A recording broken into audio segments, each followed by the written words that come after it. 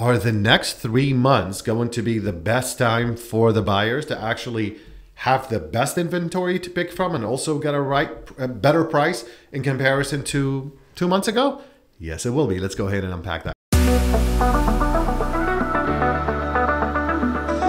Hey everyone, this is Zaid Hanna with the Hanna Group here at Real Estate 38.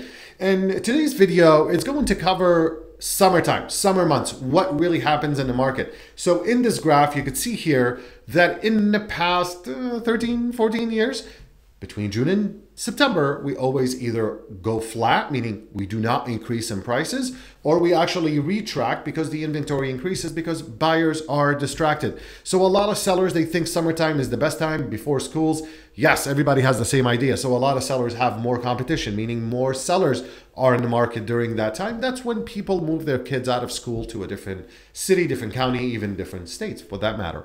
So you as a buyer, if you're looking in this market, if you see in this graph that during these three months are the best deals to be had. More inventory, inventory peaks August 15th and it starts to drop drop right after that once we get into Labor Day holiday. So between Memorial Day, which is just passed, to Labor Day weekend that is coming upon us in three months, this is the window of opportunity for you to actually buy. So don't be distracted. If you're looking for a home, commit to that process. You may save fifty to one hundred thousand dollars. Feel free to reach out. We're gonna get you that deal. 408-515-1613. Bye bye now.